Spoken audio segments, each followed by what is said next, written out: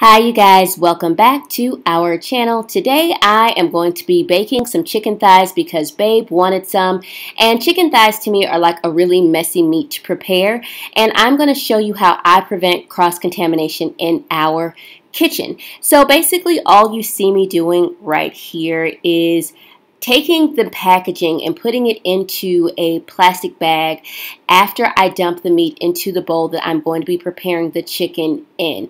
Uh, that is one of the safest ways for me to go ahead and uh, make sure that I don't contaminate like every single surface in my kitchen, you guys. And I don't like touching meat, period, especially not chicken. And I know I'm not some super chef or anything like that because chefs don't have a problem with touching anything, but I just cook a little bit in the kitchen. So don't judge me. This is how I do it in my kitchen, okay?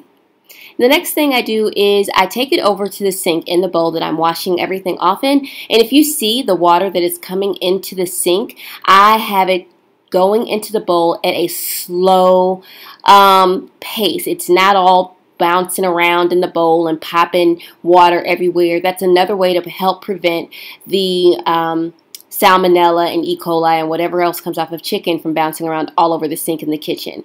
This is kind of disgusting, guys. So, you know, feel free to turn your eyeballs if you need to right now. But take note um, how I'm turning the water on and off. Yes, I'm going to clean the kitchen even more thoroughly, with the sink area more thoroughly once I'm done cleaning the kitchen. But just to not contaminate it even further, I use my elbow to turn the sink on and off.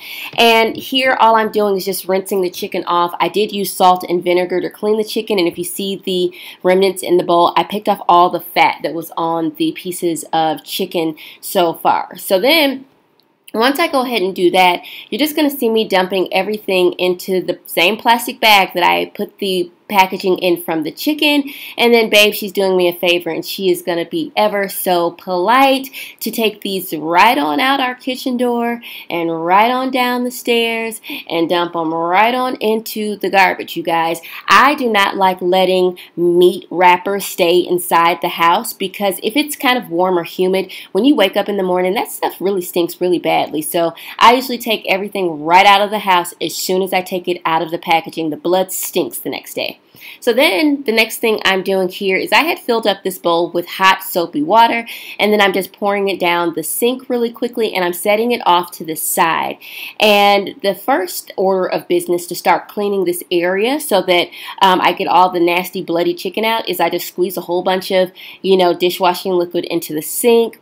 And then I take a rag and then I do the same. I put some dishwashing liquid onto that and then I take that rag with the hottest water that my hands can stand and then I go around the sink uh, really well with warm soapy water scrub make sure that I'm getting down in the drain.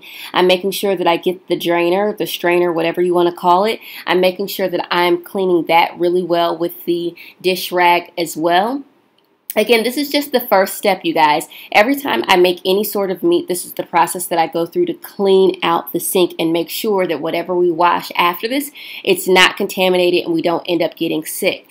And so I just repeat this for both sides of the sink. Even though I didn't clean the chicken on the other side of the sink, there's still a possibility of when I was rinsing it or putting water into the bowl to clean it, that some of those um, water drops popped on over to that side. So I'm also making sure that I get that side of the sink and um, rinsing everything off really well. Again, this is the hottest water um, that I can stand um, and actually even hotter water just to rinse out the sink.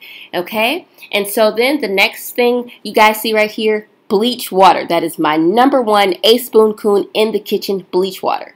So all I'm doing, once I cleaned out the sink, I did go ahead and I got a new dish rag. I did not use the same dish rag. I went ahead and threw that in the laundry.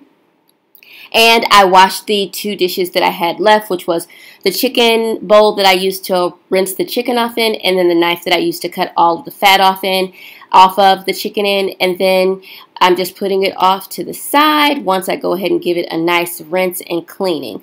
And so that's what it looks like right now. And then you guys see me taking the bleach water. I'm using the bleach after I have taken a paper towel and then just dried all the water out of the sink and off the sides. And then I'm using that. I'm spraying down the entire kitchen area. I also did the island as well.